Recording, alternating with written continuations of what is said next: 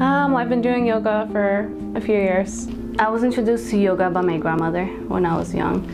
Initially, I just kind of practiced yoga as exercise, and I kind of had an athletic background, and I thought stretching is great. I really got into it for the philosophical reasons. A couple years ago, I went to a yoga retreat uh, in upstate New York, and I felt a very strong calling towards it.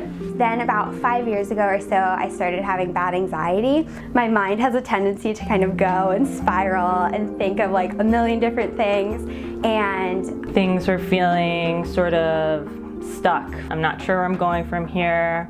I'm not 100% happy. You know, when you come out of school, you're kind of confused about life and a whole bunch of things. And it's so easy to just follow the the way of life society has laid out for you.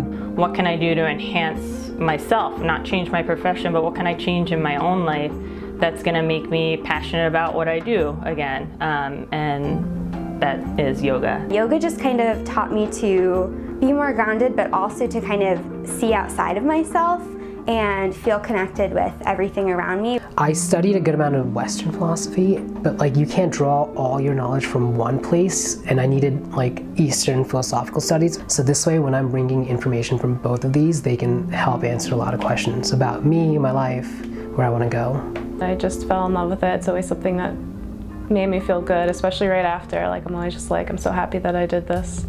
I had been thinking for a while that I wanted to do the teacher training. I was thinking about uh, what I'd be doing next, you know, career-wise, and I was like, how about yoga? I lived in Thailand and I um, did classes every day there and I wanted to do a teacher training out there, but um, I don't know, it just maybe wasn't the right time. I thought I would do this a few years ago, but it just wasn't right for me. I started researching yoga teacher trainings near me, but it wasn't fitting in my life at that moment, and I kind of forgot about it. One day, I remember I was sitting in the back of the car and I was looking out the window. It just dawned on me, I'm like, oh, I should do this. And I always put off things. So I'm like, I'm just gonna look it up right now. And as soon as I looked it up, this place was the first thing that popped up. I kept putting it off, putting it off, and then kind of last minute I found this class and I came here and I was like, this is it. I feel like this is the time for me to do it. And I can't explain it, but the timing was right.